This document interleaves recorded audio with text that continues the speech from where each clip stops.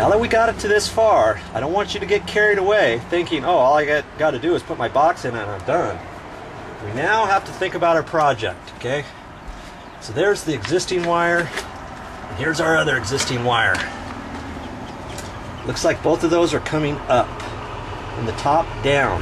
Now, as you remember, there's a stud right here. Goes all the way up. We're going to put this cut-in box in.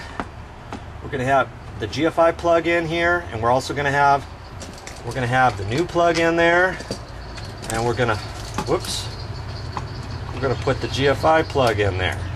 Okay. Now this new plug is going to be controlled by a light switch that's going to be on the other side of this wall and it's just going to control the bottom of this so we know first off from here we've got to go up to a light switch up this way with a wire and then from that light switch we have to come back down too so we've not only got one wire going up it's going to look just like one of these We've also got another wire coming down. So we got two more wires we got to put in this box. We're going to have four wires coming out. To make things harder, see, remember this 2x4 here. Well, the, the, there's a light switch. There's an existing light switch on the other side of this wall to the right of this 2x4, that way. And that switch controls straight up from here. There's a light on this balcony. Okay?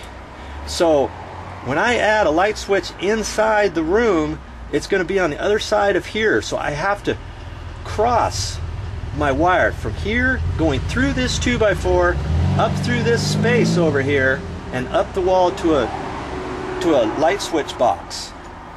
So what I have to do, usually um, you try to put a light switch straight up. See over here, this is where the cavity is. From here over this way before the next 2x4. There's another 2x4 like this, 16 inches that way. Then you go straight up and put another light switch.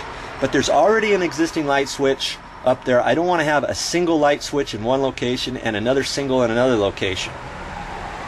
Okay, so um, I'm to put it, I'm to fit it into the existing box.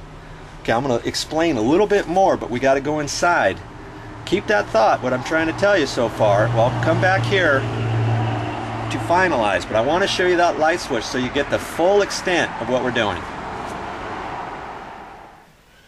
Okay, we're inside the condo now. Here's the light switch I was telling you about from before. That's already existing on the wall. That switch controls the light on the outside of the deck, straight up from where that GFI plug is that we're working on. Okay, well that GFI plug is like about here and straight down. There's another 2x4 right here, and that's that 2x4 next to the next to the plug that we are working on. Well, there's a 2x4, then the plug. We've got to drill a hole through that 2x4, then we got to fish a wire from down below over to this location here. So if I take this light switch out, I'm going to cut this bigger. I'm going to put another light switch next to this one. And so there'll be plenty of room to fish some wires down, down the wall, in through that stud. Okay? That'll look way better than leaving this, I could leave this switch alone and I could add another light switch over here. But I really don't want to do that. Then I've got two single switches on this wall. It's like, what's that for? It would make it a lot easier, yes. But I want to make this look like it was existing conditions. I don't want someone to say, oh yeah, what'd you do over there?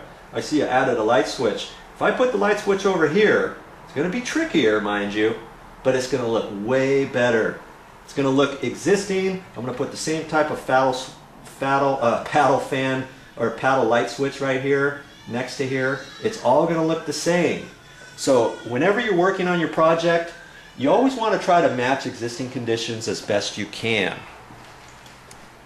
Now, here's that deck area. There's all my mess going on out there on the other side of that wall, okay? See, there's an existing plug right there, but I'm not even going to be touching that. Alright, so let's go back out on the deck, back to our project. Hopefully you got a better understanding of what I'm trying to do now. We're outside now. Back to our plug area. Okay, here's the 2x4. We have to get the wire through there and up through this next bay. And then go up this way to where the new light switch location is going to be. So what I have to do is drill a hole through here. Got to drill a hole through here. And um, I don't want to get it too close to this edge because this box has to slip through there. So if anything, I got to drill the hole three quarters of the way back here without drilling through the sheetrock wall because I don't want to I don't want to puncture the wall on the other side. So it's going to be kind of tricky. What I'll probably have to do is drill the hole here and then cut it back with a, uh, a sawzall blade and whack it out. Now, if I can't get back far enough, I can always take this box and drill a hole right there.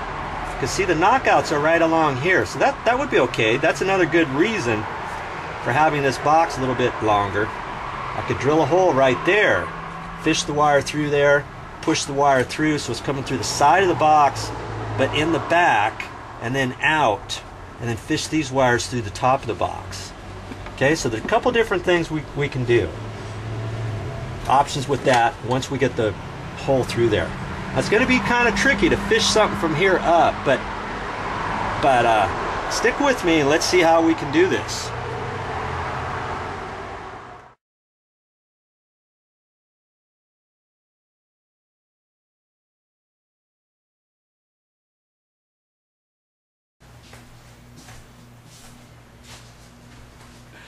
That's all I have for this time, but I'll be back with more videos.